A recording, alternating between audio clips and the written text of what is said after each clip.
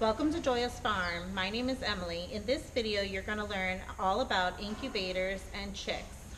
Hope you enjoy. Hi, my name is Maddie, and in this video, we are going to be talking about hatching chicks.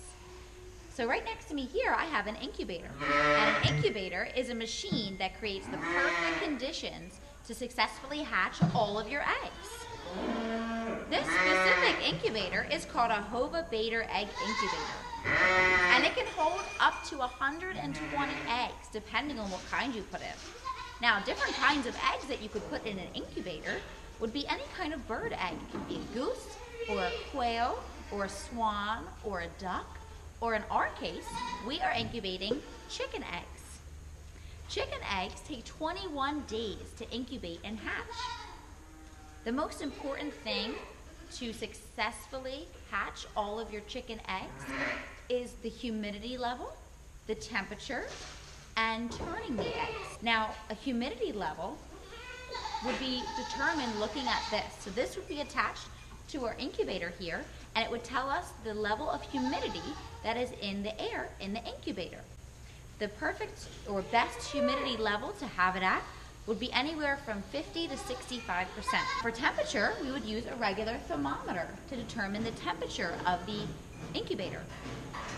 Now this should be anywhere between 99 and 102 degrees Fahrenheit. Now this incubator uses circulated air and the thermostat to make sure that the eggs are growing properly to hatch. And then we add water to make humidity in the air we have to check on this multiple times a day to ensure that everything is good. And if it's not, we have to adjust it. So we can add a little bit of water or take some out for the humidity. And we can turn up or down the thermostat for our temperature just like you would in your house.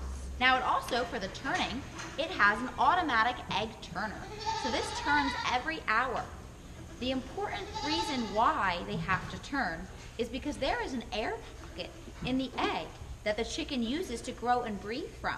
So if it's not turned, the chicken can't properly get that air pocket and therefore it won't continue to grow. What the incubator does is recreates the role that a broody hen would play in nature. So a broody hen normally would sit on her eggs. She would keep them warm and be turning them. The incubator mimics that and creates perfect stable conditions. An incubator is ideal on our farm because it gets rid of the uncertainty that you would have in nature such as predators or weather conditions or a hen that isn't properly sitting on all of her eggs. So by using our incubator, we can ensure that all of our eggs will hatch. So now we're gonna take a look at a fertilized egg and what that looks like and how we can tell it's fertilized. So here I have an egg from our farm and this egg is fertilized. The reason we know that is because we have a rooster in with our hens. Now, if you go home and you crack an egg that you got from the grocery store, you'll notice it will not have the same characteristics that our egg does inside to show that it's fertilized. Many people think that if an egg has that white part on it when you crack it open, that means it's fertilized. But this is actually not true. That white part you see is called the chalaza, which just holds the yolk in place. If you look closely at the egg we just cracked, you'll notice the bullseye in the center of the yolk. That is how you can tell if an egg is fertilized or not. This bullseye is the first cluster of cells, which, only if incubated, will become a chick. If the fertilized egg is incubated within the first 24 hours, this bullseye will grow substantially as the cells start to divide, forming a chick.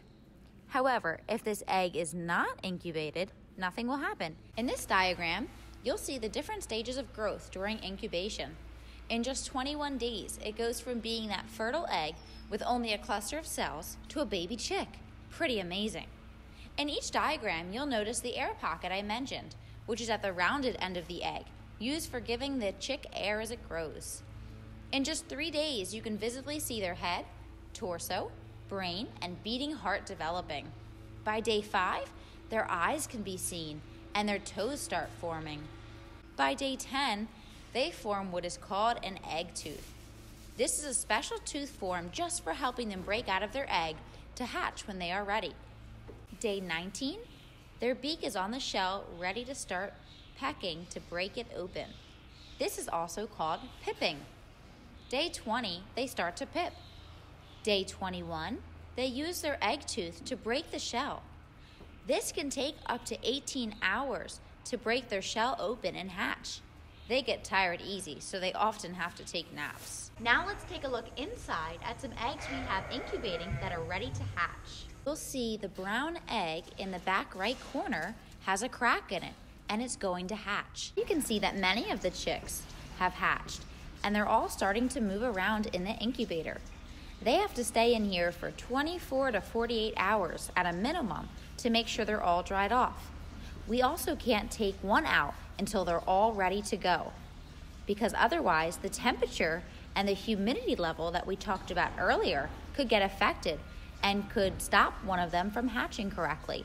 So we have to make sure they're all ready before we move them. Now that all the chicks have hatched, we get to move them from the incubator to another area where they have heat lamps.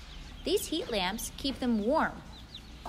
They have to stay in here until they've grown big enough to go out with the other chickens. Now let's go see the natural process of incubation. We have a hen who's been sitting on her eggs and hatched them. Let's go see. We had a hen who was in our larger coop that you saw earlier, and she was brooding, which means that she was sitting on eggs. So we moved her over to this smaller coop so that she could properly sit on her eggs and we or the other hens wouldn't disturb her and her eggs. Now something interesting you'll note is our hen over here is called a Silkie, and the color of the chicks that she has hatched from those eggs are different than her. And that might be because she was sitting on someone else's eggs. So let's go take a look inside and uh, see what her chicks look like. So you can see here, the mom, the hen, her breed is Silkie and she is clearly a different color than her chicks. She is black with a different type of feathers than her yellow babies. She is also getting very protective. She's keeping her chicks behind her. Well, now we have seen how an incubator works to hatch eggs, mimicking the natural process, and how a hen can naturally sit on her eggs to hatch them. Hope you enjoyed. See you next time.